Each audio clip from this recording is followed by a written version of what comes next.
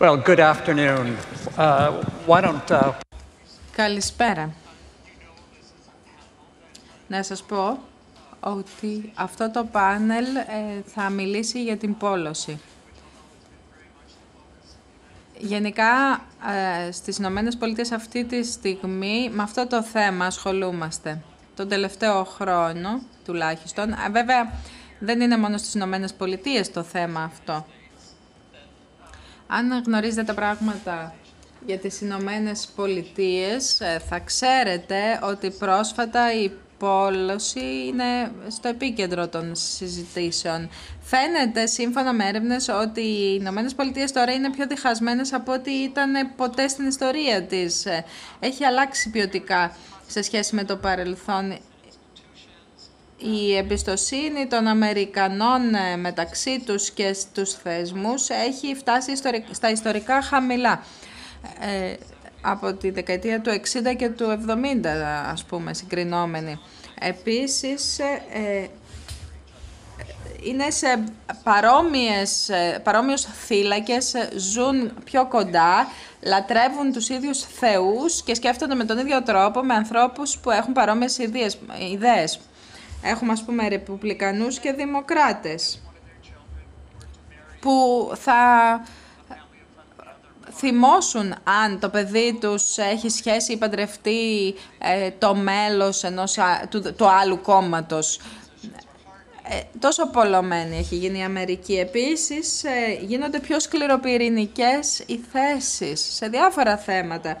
Και οι απόψεις του άλλου δεν είναι απλώς λάθος, είναι κακές ή επικίνδυνες για την Αμερική. Οι πρόσφατες έρευνες δείχνουν αύξηση της έλλειψης εμπιστοσύνης ε, στην ε, κυβέρνηση, στα κοινά, στους θεσμούς. Παρόμοια συμβαίνει και στην Ευρώπη. Αυτό επίσης που βλέπουμε ως πρόβλημα στην Ευρώπη δεν είναι απλώς ε, η άκρα δεξιά, αλλά η έλλειψη εμπιστοσύνης, η διάλυση των θεσμών. Επίσης, ε, όταν θέλουμε να αντιμετωπίσουμε τις ψυχολογικές ε, και τις κοινωνικές αλλαγές, βλέπουμε πόση συμμετοχή έχουν τα μέσα σε αυτό. Όχι μόνο τα μέσα κοινωνικής δικτύωσης, υπήρχε μεγάλη ένταση γι' αυτά, αλλά στις Ηνωμένες Πολιτείες ακόμα και η αντίδραση των πολιτών κατά ομάδες στα κανάλια όπως το Fox News ή το CNN που ήταν ε, ε, υπέρ του ενός ή του άλλου κόμματος στις προηγούμενες εκλογές έπαιξε σημαντικό ρόλο. Εδώ, επειδή έχουμε ένα πολύ σημαντικό πάνελ, να πω ότι ε, έχει έρθει η στιγμή που η, η επιστήμη και η τεχνολογία μας διδάσκει πράγματα για τους λόγους και τις αιτίες της πόλωσης και του διχασμού. Άρα, ε, έχει γίνει πιο ευάλωτη η λογική. Ε, έχουμε λιγότερο πάθος για τις απόψεις μας, αλλά τις εντάσσουμε περισσότερο σε ομάδες εάν έχει το κόμμα μου μια συγκεκριμένη θέση για ένα θέμα, ακόμα και αν έχω γεγονότα που απορρίπτουν τη θέση, ε, θα την τηρήσω παρόλα αυτά. Άρα η ομάδα μου ψυχολογικά ε, είναι πιο σημαντική. Επίσης υπάρχουν συγκεκριμένες ε, προδεδικασμένες σκέψεις για το πώς κανείς πρέπει να δρά και να αντιδρά και τα ανεξάρτητα γεγονότα δεν μας αλλάζουν αυτές τις απόψεις. Υπάρχουν πολλές ψυχολογικές διεργασίες που εξηγούν αυτές τις συμπεριφορές. Υπάρχει επίσης η δυνατότητα να αναπτύξουμε νέες τεχνικές που θα μας καταστήσουν ικανούς να κάνουμε τους ανθρώπους πιο διαλλακτικούς, να τους δώσουμε μια λύση σε αυτό. Και αυτό θα συζητήσουμε σήμερα στο πάνελ. Ήδη ακούσατε ότι έχουμε τρία εξαιρετικά μέλη σε αυτό το πάνελ. Γιούρι Χέισον. Για να μην κάνω εισαγωγές ε, που θα μας αποσπάσουν την προσοχή, θα περάσω κατευθείαν στην ερώτησή μου. Επίσης σας καλώ να στείλετε ερωτήσεις. Έχω το μαγικό iPad εδώ που μου δείχνει τις ερωτήσεις σας και θα τις θέσω στους ε, πανελίστες. Έχουμε λοιπόν εδώ τα μέλη του πάνελ μας και τους ρωτώ. αν μπορούμε καταρχάς να επικεντρωθούμε στο τι κατανοούμε σχετικά με τη νέα επιστήμη που παράγεται και τι μας λέει αυτή σχετικά με το πόσο σκληροπυρηνικές είναι οι θέσεις των ανθρώπων και πόσο πιθανό είναι στο μέλλον να μπορέσουμε να ξεφύγουμε από αυτή την κατάσταση. Να υπάρξει μια παρέμβαση, μια αλλαγή στους πολιτικούς θεσμούς. Τι κάνουμε λοιπόν μέσω της επιστήμης, τι μας λέει η επιστήμη, τι μας εκπλήσει σε αυτήν; Και πώς μπορούμε να τη χρησιμοποιήσουμε για την αλλαγή; Ακούσαμε διάφορα και πολλά για τους εγκεφάλους και για το τι υποκινεί το σκεπτικό μας. Ε, και ε, όλοι μας βεβαίως έχουμε εγκέφαλους, είμαστε κοινοί ως προς τούτο, αλλά εκείνο το οποίο διαπιστώνουμε είναι ότι δεν είναι κατά βάση καινούρια τα πράγματα που μας διδάσκει η επιστήμη, ε, την ίδια καλωδίωση έχει ο εγκέφαλός μας που είχε και πριν 50 και πριν 100 χρόνια, αλλάζει όμως το περιβάλλον, οπότε πράγματα που μας φαντάζουν καινούρια ε, στα κοινωνικά μέσα δικτύωσης ε, οφείλουν την ε, καινοφάνειά τους στο γεγονός ότι για πρώτη φορά τα βλέπουμε κατά αυτόν τον τρόπο καθώς ψάχνουμε για πληροφορίες ή για οτιδήποτε θέλουμε να βρίσκουμε πράγματα που μας επιβεβαιώνουν και που συμφωνούν με μας και με τα στοιχεία της ταυτότητάς μας. Γεγονότα, πληροφορίες θέσεις ε, που διαφωνούν με μας ε, λειτουργούν σαν ψυχολογικές απειλές. Ανέφερα τα μέσα κοινωνικής δικτύωσης. Δεν είναι λοιπόν κάτι καινούριο το να ψάχνουμε πληροφορίες που να επιβεβαιώνουν αυτούς και ταυτότητες και την ομάδα μας. Το καινούριο είναι τα διάφορα εργαλεία που διαθέτουμε. Με τα μέσα κοινωνικής δικτύωσης έχουμε ε, μεγαλύτερο εύρος επιλογών ε, ε, και για τα αφηγήματα που θα πιστέψουμε και για τις πηγές τους. Ε, έχεις λοιπόν μια εγκεφαλική καλό καλωδίωση αφενός και αφετέρου ε, συνθήκες όπου μπορεί κανείς να είναι όλο ένα πιο επιλεκτικός καθώς καταναλύσκει ε, πεπιθήσεις και ε, ε, ψήγματα στοιχείων που τονώνουν το, την προσωπικότητά μας και την αίσθηση που έχουμε του εαυτού μας. Ε, αν λοιπόν στραφώ σε ένα καινούριο ραδιοσταθμό, σε μια καινούρια εφημερίδα, ε, σημαίνει ότι εντάσσομαι σε αυτή την ομάδα, ε, στην οποία νιώθω ότι ανήκω ε, και διαχωρίζω τη θέση της από τη θέση των άλλων για να έχουμε το εμείς και αυτοί. είναι εγγενές χαρακτηριστικό μας να δηλώνουμε τις συμμαχίες που εκπροσωπούμε, το, τι μας συνδέει με τις άλλες ομάδες. Ε, ας πούμε, είμαστε όλοι Αμερικάνοι, όλοι μπορεί να ε, έχουμε το ίδιο πλαίσιο εργασίας, αλλά μπορεί να διαφωνήσουμε για τούτη, εκείνη την ιδέα σχετικά με το ποιοι είμαστε. Ε, άρα σε μια μεταβατική στιγμή ε, θα κάνω ένα διαχωρισμό ανάμεσα σε αυτά που ε, είναι ζωτική σημασία για μένα να υπεραμείνουμε και να συναγορώ υπέρ αυτών έναντι εκείνων που είναι ίσονος σημασίας. Μας δίνεις την αίσθηση ότι το υποθεώρηση ζήτημα είναι ε, ανέκαθεν αναπόσπαστο κομμάτι της ε, ανθρωπότητας αλλά ότι τώρα με νέες τεχνικές μπορούμε να προάγουμε και να εντείνουμε την αίσθηση της, ε, του ανήκειν στην ομάδα. Δεν είναι λοιπόν μόνο το θέμα της καλωδίωσης, είναι και το θέμα της ε, ε γενικότερης περιραίουσας κατάστασης που λειτουργεί κατά αυτόν τον τρόπο. Έχω δίκιο;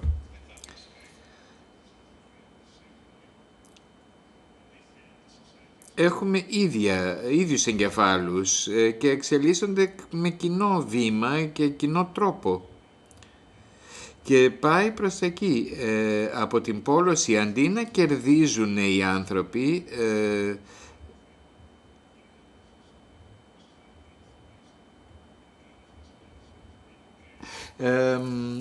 δίνουμε ε, ε, την πρωτοκαθεδρία σε συγκεκριμένου είδους απόψεις ή άτομα ε, τα οποία κατευθύνουν απόψεις και αντιλήψεις. Ωστόσο, τα περιστατικά, τα πραγματικά παραμένουν πραγματικά. Δεν είναι μόνο θέμα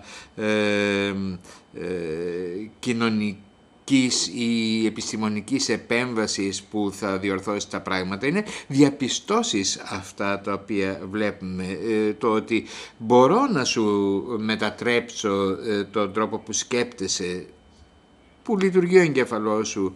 Ε, μπορώ να σε μεταφέρω από τη μία ομάδα σε μία άλλη. Υπάρχουν λοιπόν δυνάμεις ε, που λειτουργούν ε, ε, κατά διαφόρους τρόπους των οποίων ο, η χειραγώγηση και η, η καθοδήγηση προκειμένου να εξασφαλίσετε κάποιο συγκεκριμένο αποτέλεσμα είναι και μέρος μιας κοινωνικής επέμβασης Μα γιατί έχουμε έρθει στο σημείο όπου ε, αναλαμβάνουμε πλέον ε, αποκλειστικές ε, ταυτότητες. Αυτό είναι κομμάτι της φιλοσοφικής συζήτησης των τελευταίων δεκαετιών. Δεν μας αρέσει να μας βάζουν σε κουτάκια.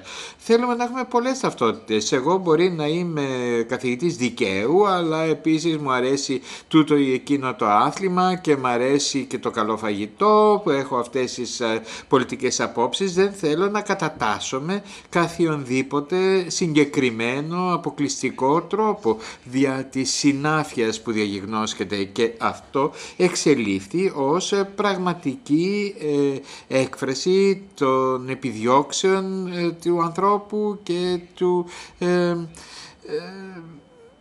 προσωπικού στοιχείου που οδηγεί τον άνθρωπο, που καθορίζει τον άνθρωπο. Γιατί όμως ε, θα στραφούμε τελικά προς τους ομοίους μας, θα παντρευτούμε τους ομοίους μας, αυτούς που μας κατατάσσουν στο ίδιο φιλετικό μόρφωμα. Γιατί έχει υπάρχει αυτή η τάση; Εξαιρετική ερώτηση.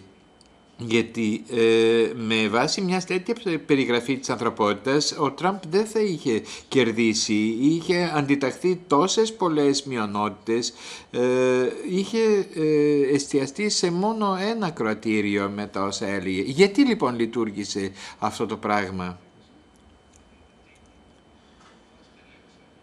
Μετά τις εκλογές λοιπόν, αυτό που πρέπει να γίνει κατανοητό και νομίζω ότι προέκυψε και στην προηγούμενη συζήτηση. Ε, ζούμε σε έναν κόσμο με παγκόσμια προβλήματα, τα οποία όμως τα αντιμετωπίζουμε τοπικιστικά, μέσα από την τοπική μας κοινωνία.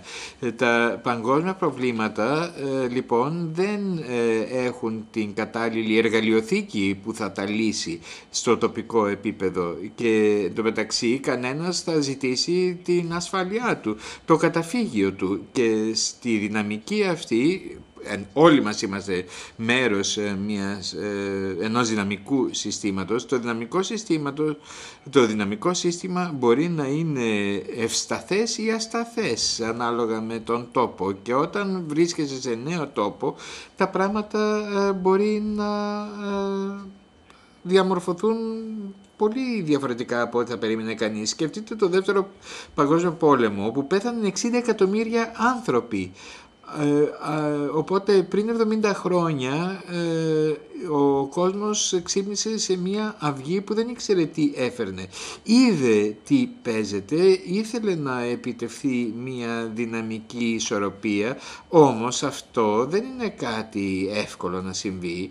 Ε, είναι πολύ περίπλοκη υπόθεση και αυτό οδηγεί σε περίεργους τόπους, παράδοξα είναι ενδιαφέρον να δούμε τον τρόπο που η συζήτηση ε, ε, στο πεδίο των Ηνωμένων Πολιτειών έχει κυριαρχηθεί ε, τον τελευταίο χρόνο για, από κάτι το οποίο έχει ε, παγκόσμια εμβέλεια. Νομίζω ότι πρέπει να δούμε την οικονομία ε, της επιγραμμικής ε, οικονομίας, δηλαδή του διαδικτύου. Το Facebook και το Google μπορεί να έχουν καλούς σκοπούς κατά νου, αλλά ε, βασικά θέλουν την προσοχή σου. Θέλουν τα μάτια σου να βλέπουν τη διαφήμιση που παρουσιάζουν και η προσοχή δεν ε, τάσεται τόσο πολύ σε περίπλοκες αφηγήσεις για το τι συμβαίνει στην κοινωνία.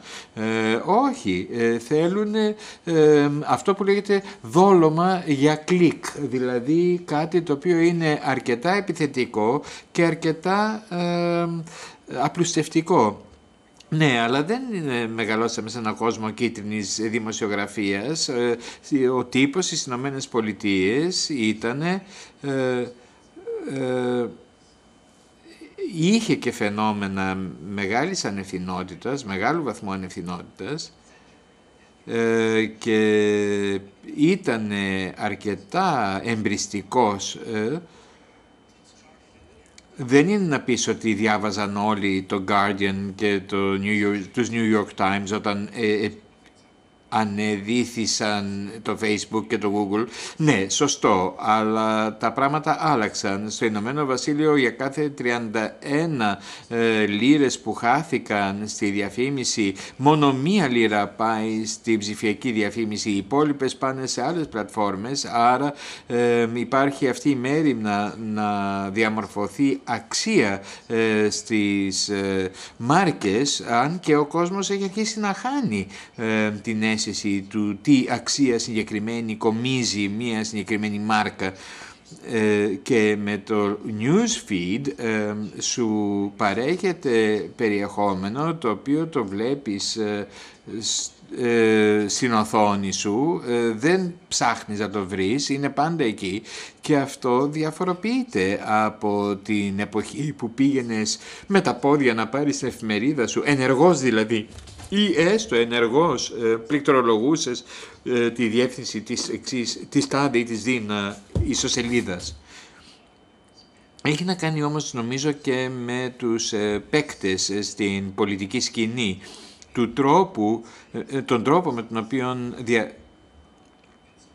χειρίζονται τα εργαλεία που τους παρέχονται και τα χειρογωγούν, τις ικανότητες και δυνατότητες που τους παρέχει ο τύπος και τα μέσα ε, και αυτό που μας ε, προβληματίζει είναι το ότι είμαστε σε ένα πολιτικό ε, περιβάλλον και το θέμα είναι με την πολιτική ηγεσία. Ε, υπήρξε ένα άρθρο στους New York Times που αναφερόταν για την έλλειψη ιδεοντολογίας των ε, της ηγεσίας. Ε, μόνο με ε, ηθική ηγεσία μπορούμε να ξεφύγουμε από αυτό τον βρόχο. Οι πολιτικοί αυτή τη στιγμή δράτονται της ευκαιρίας να χειραγωγήσουν τα πράγματα. Κοιτάξτε, είμαστε σε ένα σημείο που ε, τα δεδομένα ε, ε, χειραγωγούνται και τα ίδια. Έχουμε 98 σημεία συλλογής δεδομένων δημογραφικής πληροφόρησης που να την αξιοποιήσουν οι διαφημιστές και έχει στοχευμένη διαφήμιση και ανθρώπους που προσπαθούν να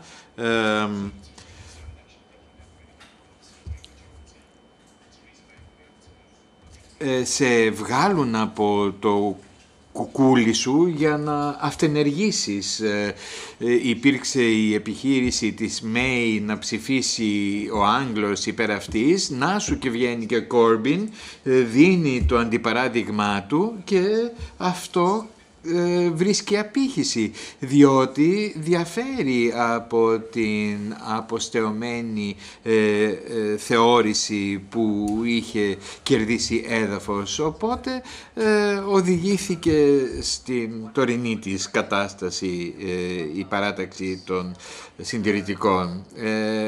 στο θέμα της Brexit ένα από τα θέματα ήταν η αντίληψη που κυριάρχησε ότι είχαν διαπράξει ένα τρομερό λάθος, ότι δεν είχαν σκεφτεί εντελεχώς το τι κάνανε, ότι ενέδωσαν σε πιέσεις και επιρροές και επιδράσεις έξωθεν ε, και ξαφνικά ε, κυριάρχησε διάχυτος ένας φόβος ότι είχαν κάνει ένα τρομερό ατόπιμα. Τώρα να ρωτήσω εγώ, νομίζω ότι υπήρξε κάποια στρατηγική των μέσων ή μπορεί κανείς να πει ότι τα μέσα ε, έπαιξαν ένα ρόλο ε, ε, τώρα ε, στις πρόσφατες εκλογές προετοίμασαν τους εκλογείς καλύτερα ή μήπως περιφρόντιδες θα συνέχιζαν οι άνθρωποι να ψηφίζουν βάσει των φοβιών τους. Κοιτάξτε, η μεγάλη ύβριση ήταν του David Cameron που θεώρησε ότι εντός ενός ε, έτους κατόρθωσε και με τα... Ε,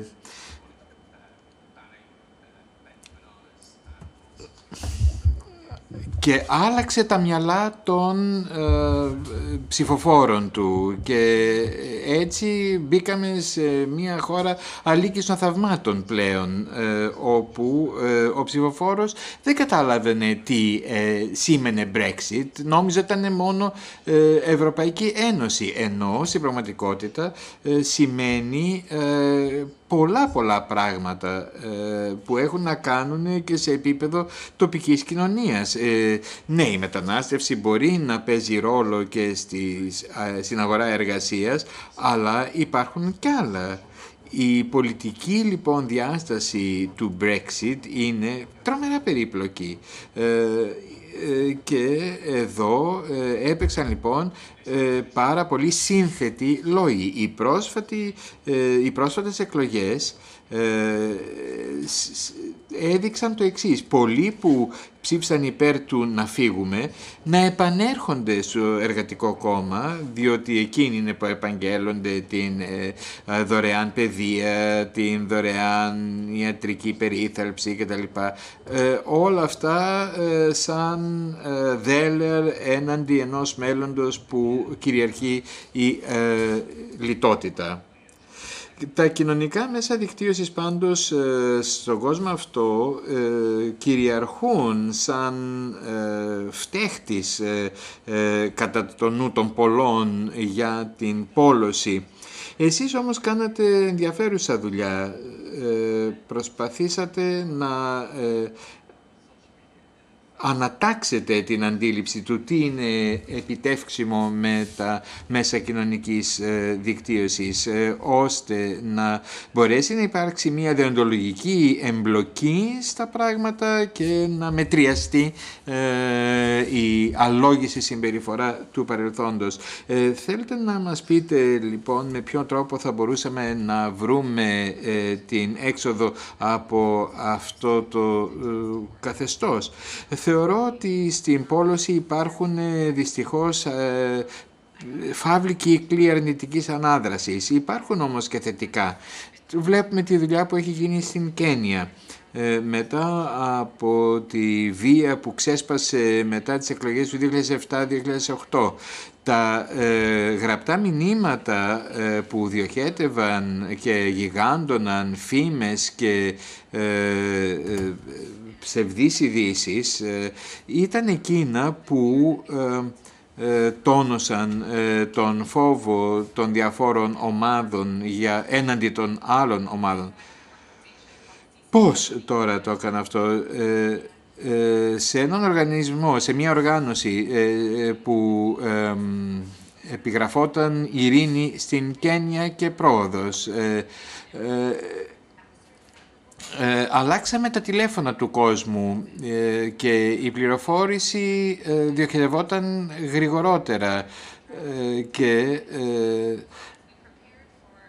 μπορούσες ας πούμε αν είσαι σε μια πόλη να παραγγείλεις κάποιος να εκδικηθεί για λογαριασμό σου κάποιον σε μια φυλή στην Ήπεθρο. Ε, εμείς τι κάναμε, φέραμε 65.000 άτομα σε μια πλατφόρμα SMS ε, και ε, επιχειρήσαμε να γίνει κατανοητό ε, έξω στο πεδίο το πώς εξελίσσονταν τα πράγματα. Για να το πετύχουμε αυτό έπρεπε να κατανοήσουμε τους ανθρώπους. Δεν ήταν με το να τους λέμε αγαπάτε αλλήλους, Μιλώντας με τον κόσμο στο πεδίο, αντιληφθήκαμε ότι φοβόντουσαν ότι η βία τους εμποδίζει να ε, κάνουν τη δουλειά τους, να εμπορεύονται τα προϊόντα τους. Δεν θέλανε να χειραγωγούνται από τους πολιτικούς. Άρα η βάση των SMS ε, στηρίχτηκε στην αντίληψη ότι οι άνθρωποι είναι λογικά όντα ε, και ότι θα ακολουθήσουν με ε, την κοινή λογική το δρόμο που τους επιτάσσει το συμφέρον τους.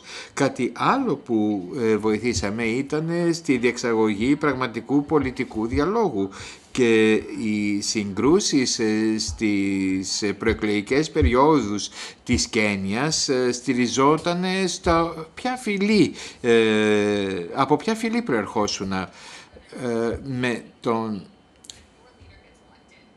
Υπήρχε ο φόβος ότι ο φύλαρχος μου θα στηρίξει εμένα και τις υποθέσεις μου, ενώ ο φύλαρχος σου ή του αλουνού θα κάνει το ίδιο πράγμα για σένα. Ε, ε, θέσαμε λοιπόν τη βάση για να συζητηθούν θέματα κοινού ενδιαφέροντος στις τοπικές κοινωνίες περί υποδομών, περί παροχών και περί υπηρεσιών με τρόπο που ξέφευγε από αυτή την αντίληψη. Ενώ ταυτόχρονα βλέπουμε ότι στις Ηνωμένες Πολιτείες είναι λες και επανακάμπτουμε στο σκεπτικό που λειτουργήσε στην Κένια ε, ε, και θέλουμε το απτό ζήτημα και όχι ε, την ε, εκλέπτυνση που επιτάσσει η πολιτική. Πάμε τώρα στην Κένια. Ανησυχείτε ότι ε, εάν ένα από τα αντίπαλα κόμματα που χρησιμοποιεί το φόβο και το μίσος θα ε, χρησιμοποιήσει το μήνυμα ε, καταχρηστικά, ειδικά με την παρουσία των μη κυβερνητικών οργανώσεων, να μειώσει την σημασία αυτού που κάνουν οι μη κυβερνητικές ε, οργανώσεις. Υπάρχουν σε διάφορες χώρες, για παράδειγμα, οι προσπάθειες κυβερνήσεων να περιθωριοποιήσουν ακριβώς τις μη κυβερνητικές οργανώσεις οι οποίες ενεργοποιούνται στην εκλογική διαδικασία, κάτι που επηρεάζει την ε, κυβέρνηση. Αυτό είναι ένα τρικ, ένα κόλπο, μια κατάσταση εφήμερη.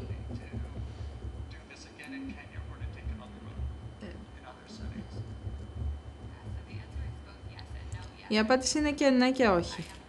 Ναι, νομίζω ότι ανησυχώ. Εξετάζω την επικοινωνία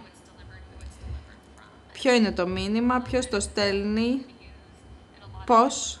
Είναι ε, το εργαλείο που μπορεί να χρησιμοποιηθεί με διάφορους τρόπους για να χωρίσει ή να ενώσει.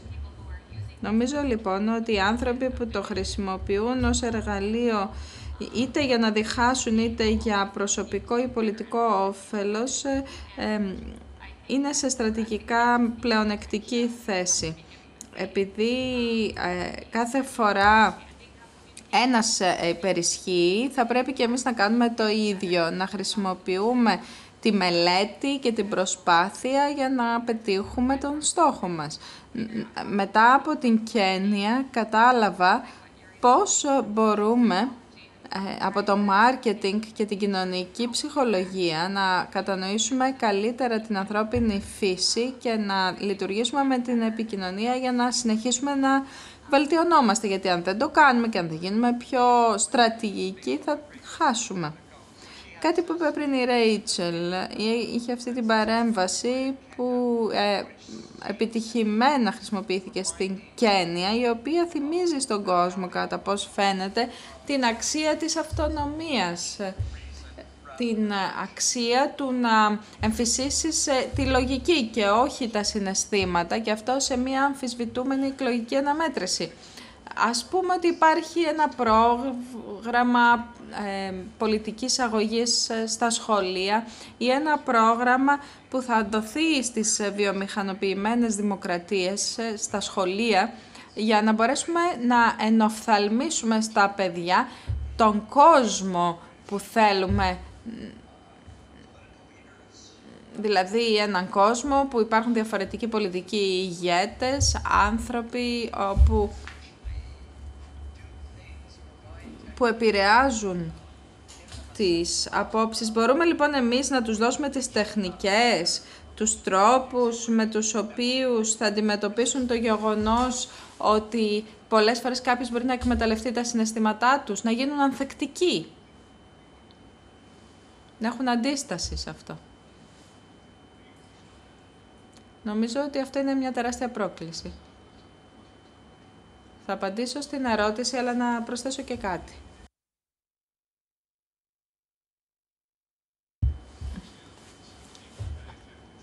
Το Fox News έκανε κάτι πολύ αποτελεσματικό για την πόλαση. Το ίδιο και η New York Times ε, μετά.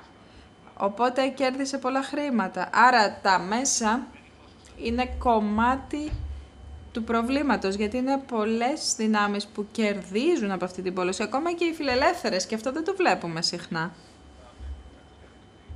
Το μεγαλύτερο πρόβλημα με την εκπαίδευση είναι ότι τώρα πλέον έχουμε χάσει τη δυνατότητα. Αν δεν μπορώ να ρωτήσω, αν δεν μπορώ να ζητήσω από το Fox News και το New York Times να κατανοήσει την ε, πραγματικότητα ε, γιατί έχει φιλτράρεται μέσα από τα δικά τους κίνητρα. Πώς μπορώ να ε, ζητήσω από τον απλό άνθρωπο να ξέρει τι είναι αλήθεια και τι όχι; Είναι περίπλοκο και η επιστήμη είναι περίπλοκη.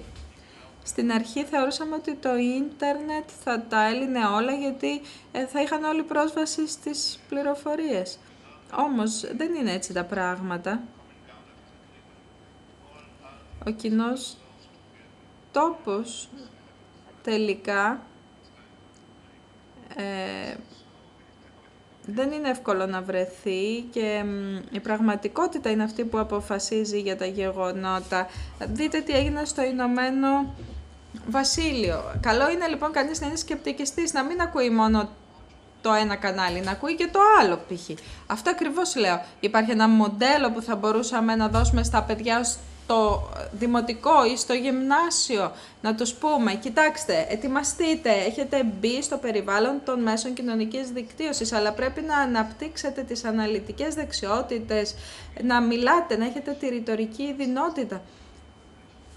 Ε, έχουμε το Ίδρυμα που ακριβώς κάνει αυτό, έχει μαθήματα για παιδιά.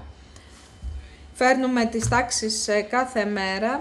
Είχαμε 180 ώρες διδασκαλίας ως τώρα και τα παιδιά ε, ξεκίνησαν με αυτόν τον τρόπο να σκέφτονται κριτικά. Ελπίζουμε ότι με αυτόν τον τρόπο θα εμπνεύσουμε τη νέα γενιά δημοσιογράφων. Πρέπει αυτό να το επεκτείνουμε, να το πάμε και σε περισσότερα σχολεία. Νομίζω λοιπόν ότι υπάρχουν πράγματα που μπορούμε να κάνουμε. Κάτι πολύ σημαντικό είναι μια, ένα ρεπορτάζ από το Reuters News Institute που συστήνω.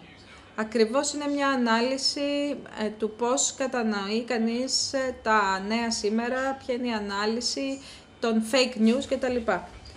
Και φαίνεται ότι στις χώρες που υπάρχει λιγότερη πόλωση, υπάρχει μεγαλύτερη ε, κεντρική ας πούμε επιρροή των μέσων μαζικής ενημέρωσης. Έχουμε στο Ηνωμένο Βασίλειο το BBC ε, που συγκεντρώνει λίγο πολύ όλες τις δυνάμεις και όταν έχεις κάτι τέτοιο δεν πηγαίνει κανείς προς τα δεξιά και τα αριστερά πολύ εύκολα.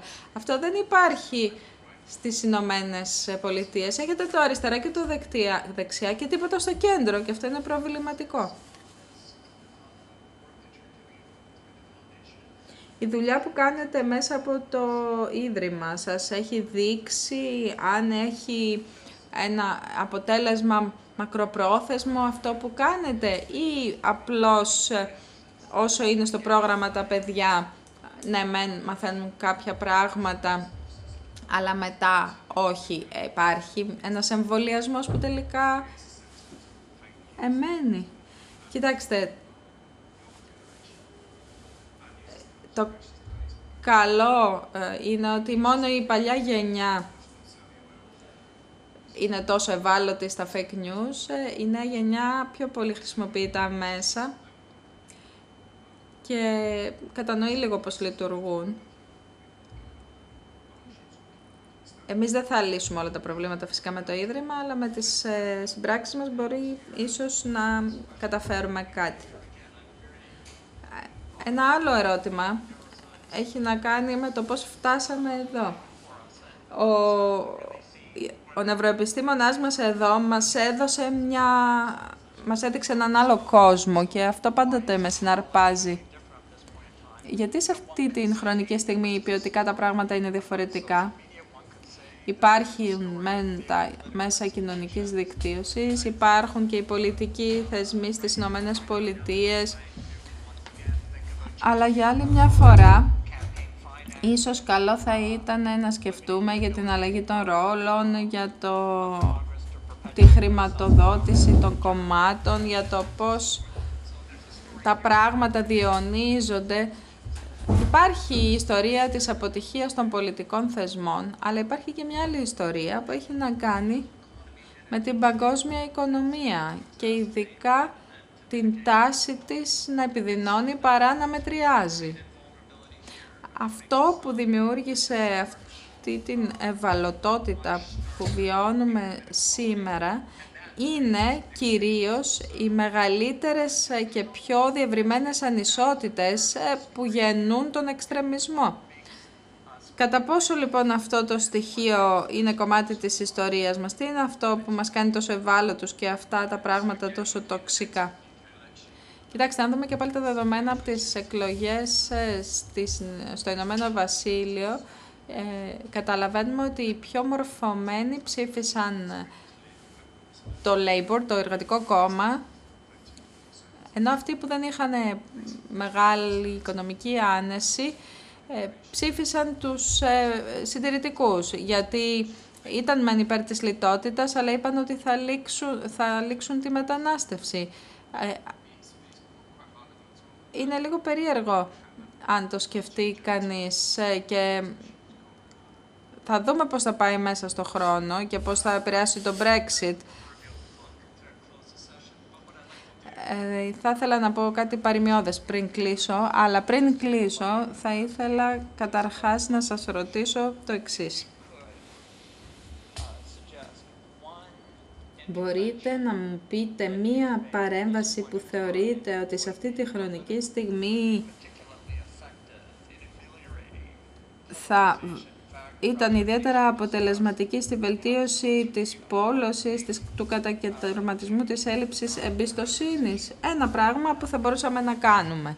Αν ήταν μόνο ένα, ποιο θα ήταν αυτό, Ρέιτσελ; Αν σκεφτούμε λίγο τις Ηνωμένες Πολιτείες, υπάρχουν πολλά μέρη που έχουν προχωρήσει προς τη σύραξη εκεί που υπάρχουν πολύ καλοί ομιλητές, αυτοί που μπορούν να μιλήσουν και να πάνε πέρα από την πόληση, πόλωση και από τις συγκεκριμένες ομάδες, εκεί που υπάρχουν αυτοί, είναι καλύτερα τα πράγματα. Όλοι έχουμε την ανάγκη να ανήκουμε κάπου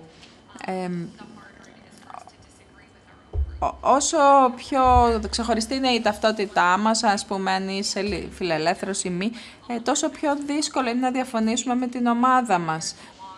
Ε, καμιά φορά, ε, όταν δεν συμφωνούμε με αυτούς, δεν ανήκουμε πουθενά παρά μόνο στους εξτρεμιστές. Δηλαδή, στις Ηνωμένες Πολιτείες, καλό θα ήταν να προστατέψουμε το κέντρο, να φτιάξουμε φωνές που να ακούγονται σε όλο το φάσμα, σε όλες τις αποχρώσεις, να μπορεί κανείς να διαφωνεί με τα μέλη της δικής του ε, ομάδας, ε, ε, να λέει κάτι διαφορετικό, ε, χωρίς να εξωστρακίζεται ή να γελιοποιείται από την ομάδα του, γιατί θα μπορεί να ανήκει σε μια άλλη ομάδα στην διπλανή πλευρά του φάσματος.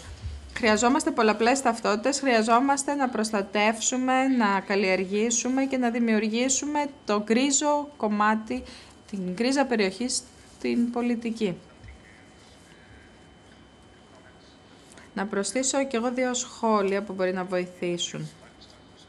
Νομίζω ότι πρέπει να είναι διαρθρωτική η αλλαγή. Στις Ηνωμένες Πολιτείες πρέπει να αλλάξει ο τρόπος χρηματοδότησης της πολιτικής. Πάντοτε αναρωτιέσαι ποιον εξυπηρετεί ο πολιτικός. Όλοι θεωρούν πως δεν εξυπηρετούν πλέον τους πολίτες, αλλά άλλες ομάδες έρχονται σε εμάς, μας λένε μπλα μπλα μπλα θα κάνω αυτό ή εκείνο ή το άλλο, αλλά δεν εξυπηρετούν εμάς. Καλό θα ήταν λοιπόν να αλλάξει ο τρόπος χρηματοδότησης, γιατί αλλιώς διακυβεύεται η δημοκρατία. Και νομίζω επίσης και ταυτόχρονα πρέπει να έχουμε μέσα που δεν θα μας αναγκάζουν να διαλέγουμε στρατόπεδο. Αν ας πούμε στο Ηνωμένο Βασίλειο έχετε το BBC, κάτι τέτοιο θέλουμε παντού. Κάτι που να είναι το κέντρο της κοινωνίας μας, ο πυρήνας, εκεί που θα ακούμε τι λέγεται και θα αποφασίζουμε για τα γεγονότα. Να πω ότι αυτή τη στιγμή η χρήση των προσωπικών δεδομένων στις ψηφιακές πλατφόρμες δεν είναι καθόλου ρυθμισμένη, τουλάχιστον στο Ηνωμένο Βασίλειο. Ε, αν αυτό ρυθμιστεί, αν σταματήσουν να στοχοποιούνται άνθρωποι με πολύ στενόμυαλο τρόπο, ε, η πολιτική θα είναι πολύ καλύτερη. Ευχαριστώ. Εκ μέρους όλων, να ευχαριστήσω τα μέλη του πάνελ μας.